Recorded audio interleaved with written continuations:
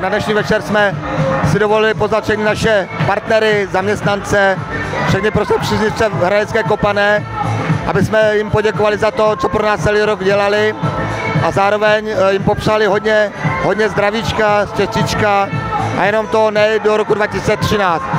Jsme rádi, že se tenhle večer povedl. Snažili jsme se ho stylizovat do netradiční Hawaii party a já myslím, že těm lidem se tady líbilo.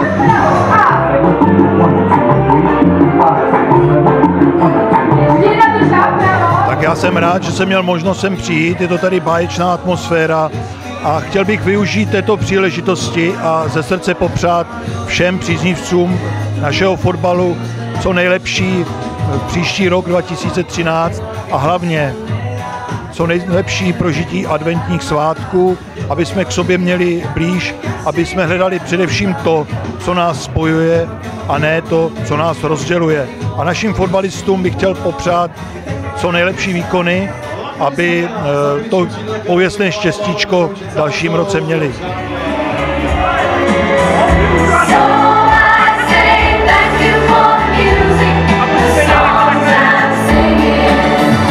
Já si myslím, že to byl velmi povedený a příjemný večer, kdy jsme měli možnost se potkat všichni lidi okolo klubu.